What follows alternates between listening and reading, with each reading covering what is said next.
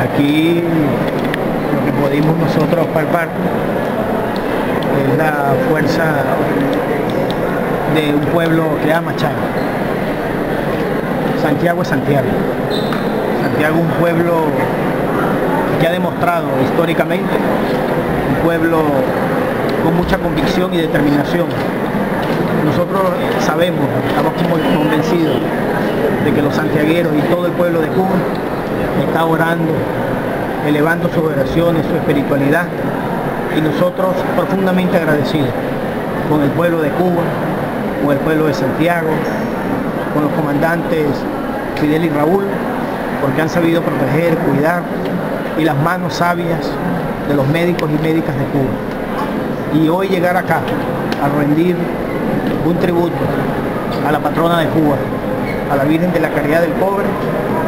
para pedir por la plena recuperación de nuestro comandante presidente Hugo Chávez Frías, nos hace sentir a nosotros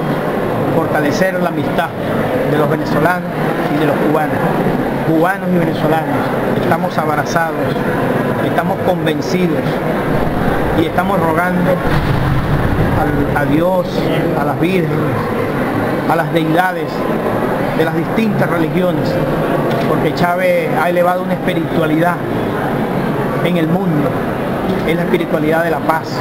es la espiritualidad de la alegría, y nosotros sabemos que nuestro comandante Chávez va a estar bien, va poco a poco, pero va a estar bien, pleno, porque él tiene que cumplir su mandato que le dio el pueblo de Venezuela. Y por eso nosotros, con este abrazo, en nombre como embajador de la República Bolivariana de Venezuela, en nombre de mi comandante Chávez, un gran abrazo para el pueblo de Cuba, por todas sus oraciones, sus ruegos,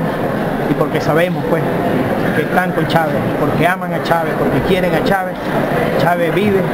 y vivirá por Cuba, por Venezuela y por la paz del mundo.